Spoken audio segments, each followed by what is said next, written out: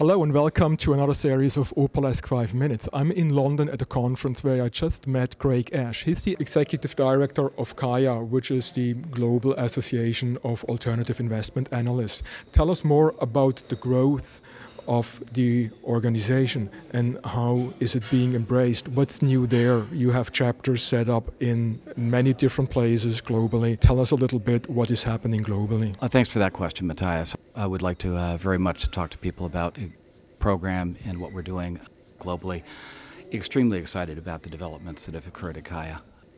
As you said, we are expanding around the globe. We have chapters now uh, 10 different locations. In fact, I'm heading out at the end of this week to launch our Hong Kong chapter. Uh, I'll be in uh, Frankfurt launching that chapter. So we've seen a, a tremendous pickup in terms of participation in the program. Uh, but more importantly, we've seen from the institutional side, from the investor side, a tremendous interest in having their people go through the program. We've seen a tremendous pickup in the number of regulators that are putting their people through the program. And on top of that, we've had the, you know, the steady and strong support from the larger financial institutions. Why has that happened? Because people fundamentally recognize the need for education in this industry. It is one of the single, probably the single most important aspect of what we do. This is a dynamic industry. It changes day by day. It is extremely important that people understand those changes, recognize those changes, and know how to position for those changes. I think the strength of our program is twofold.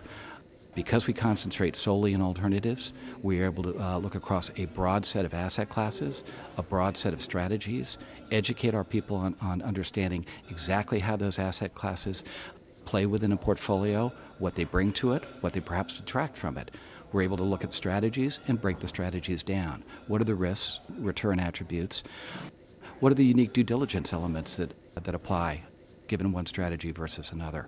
All of these are extremely important to people in the in industry.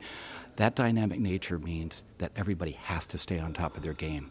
They have to understand what's happening uh, because even if it's not directly in their area of specialization, they can be impacted by it. I don't have to point to the events of the last 18 months to show just how true that is.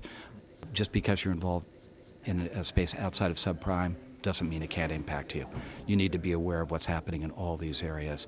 And our program, that's the strength of it. We're able to dig, uh, delve deeply into each of these areas, but we're also able to cover a, a tremendous breadth of, of knowledge. I like to think of it as, as being able to see the forest through the trees. We have so much focus on specialization these days, and people become so kind of narrowly focused in terms of their expertise. It's essential because there's so much to know within each area. But sometimes what's lost in that process is uh, the vision of being able to step back and see the whole picture and recognize when something is getting out of line. I'm not suggesting that uh, all CAIA graduates would have recognized the, uh, the potential for the uh, downfall that we've had over the last 18 months in the industry, in the broad investment world. I would say this, that I think you've got much better chance of understanding what's going on around you having gone through a program like this. Craig, yeah, you mentioned the need for continuous education and update your knowledge. Now, everybody can go to your website and actually see what does it entail to go through the program and how many levels do you have. What do you offer your members and your CAIA graduates after they certify? Terrific question again, uh, Matthias. I think, you know, our membership, we are a membership, uh, or a member-driven association. Everything we do is for the members. So it's extremely important to us that we add value after they've gone through this program. The program is really just the starting point. What we offer to the members longer term is access to research, access to professional uh, journals, access to networking opportunities, access to high quality speakers around the globe at the various events that we, uh, that we offer for our members as a means of continuing that process. Education in this, uh, in this industry never ends. I spent uh, a large part of my career at Salomon Brothers. And I remember being told by one of my mentors when I first got there that the day you stop learning in this industry is the day that your value plummets because the industry doesn't wait for you to catch up. The industry continues to progress, continues to uh, evolve. It's critically important that people's knowledge and understanding of the industry do exactly the same thing because it's moving so quickly.